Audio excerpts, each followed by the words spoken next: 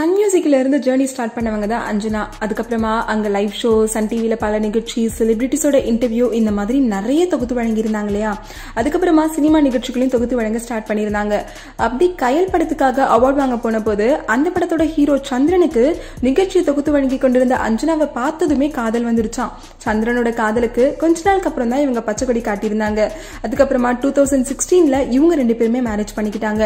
சென்னையில பிறந்து வளர்ந்த அஞ்சனா ஸ்கூல் காலேஜ் ஸ்டடிஸ் எல்லாம் அங்கேயே தான் கம்ப்ளீட் பண்ணியிருந்தாங்க. டூ தௌசண்ட் எயிட்ல அஞ்சனாவுக்கு மிஸ் அவார்டு வழங்கப்பட்டிருந்தது. அண்ட் இந்த அவார்டு தமிழ் தொலைக்காட்சியில ரொம்பவே திறமையான நேர்த்தியான நட்சத்திரங்களுக்கு மட்டும்தான் வழங்கப்பட்டிருந்தது. சினிமா வாய்ப்புலாம் வந்துட்டு இருக்கும் போதும் எனக்கு ஆக்டிங் மேல கொஞ்சம் கூட இன்ட்ரெஸ்ட் இல்லை அப்படின்னு ஸ்ட்ரிக்டா அவாய்ட் பண்ணியிருந்தாங்க.